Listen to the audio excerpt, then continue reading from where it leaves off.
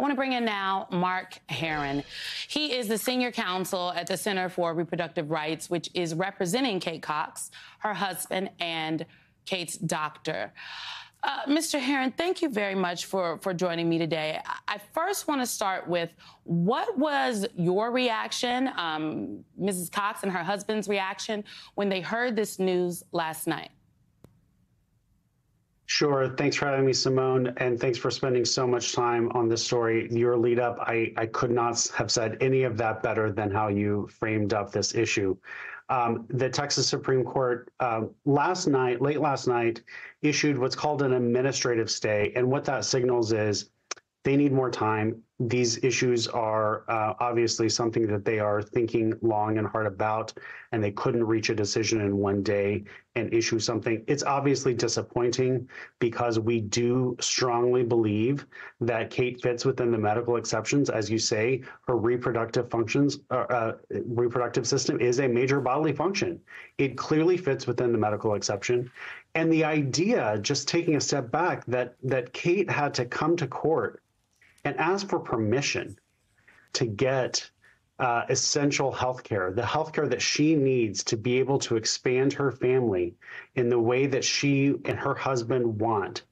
It's just, it's ridiculous uh, that that's where we are today. It is, it is absolutely ridiculous. I was on air guest hosting for the 11 p.m. last night when the news came down, and I, I was frankly shocked. And I immediately wondered what options uh, do Kate and her husband have now after this Supreme Court stay? Well, Kate's going to look at all of her options. Uh, right now, we are still focused on um, hoping to get a decision uh, quickly out of the Texas Supreme Court.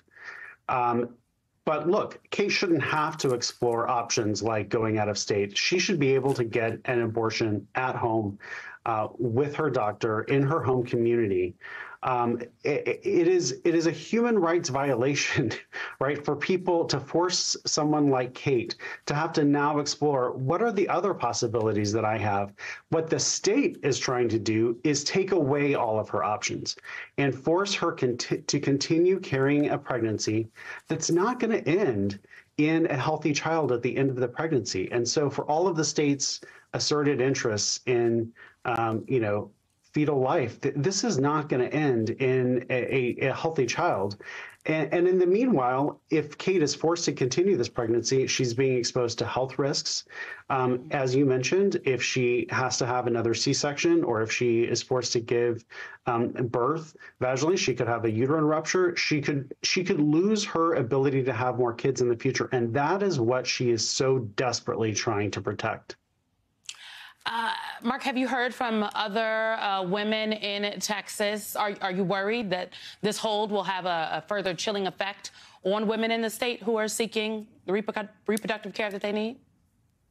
Well, look, doctors all across the state of Texas are already frightened. They are terrified to provide abortion care because here's what they face if they provide an abortion that violates the law up to life in prison, hundreds of thousands of dollars in fines losing their medical license, which means losing their livelihood.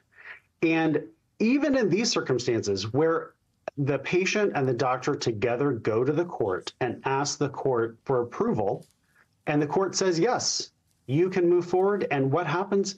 Ken Paxton, the Attorney General of Texas, thumbs his nose at the court's order and sends a letter to hospitals threatening the hospitals with criminal penalties to, to discipline the hospitals um, and, and is, is just like expanding fear all across the state of Texas. His point is to frighten people into even not providing abortions that have been that fit within the exception and that a judge has already approved. It is shameful. And of course, this is going to have a chilling effect all across the state of Texas. And it's putting the lives of pregnant people all across Texas in danger. It is noted in the initial filing that uh, Kate Cox actually reached out to your organization because she received the fatal diagnosis on the exact same day that there were oral arguments held in Zurawski v. the state of Texas.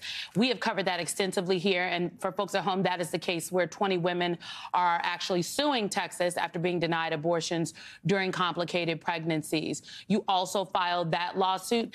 Can you give us an update on that and, and the connection? Connection between the two here? Sure. So my colleague argued that lawsuit in front of the Texas Supreme Court just last week. And as she was arguing that uh, in front of the Texas Supreme Court, that's when Kate Cox was getting her amniocentesis results. And that's what's led, led to this uh, filing of this new lawsuit. I, I, I want to just to connect the two lawsuits together. Look, the state was telling uh, you know, Ken Paxton's lawyers were telling the state of Texas, uh, the Texas Supreme Court last week, that um, you know, all of those 20 women, none of them have standing. None of them can come to court and seek relief. But, you know, if someone is in the middle of a crisis, right, then they could file a lawsuit, which let me just be clear 99% of people undergoing a medical crisis do not have time to, to stop, Google, try to find a lawyer, try to you know put together legal papers. This took a, a, large legal team to to put this together and go seek a court approval. We've already been going through this process over a week, so this this cannot be the new normal that people undergoing medical crises now start to file all these lawsuits. But even when she did that, even when she went through all of that, what is the state of Texas doing? It's trying to kick her case out of court and saying even she doesn't have legal standing to sue. And um, it, it's just, it's completely absurd. And the point is, they're not, they don't want anyone to get abortions. It, regardless of what the exceptions say, they want no one. They, they want the exceptions to be effectively meaningless. Mm. Marc Hearron, please come back with any updates that you have. We are going to continue to stay on this story in the days and weeks to come. Absolutely. Thank you very much for your time. Thank you.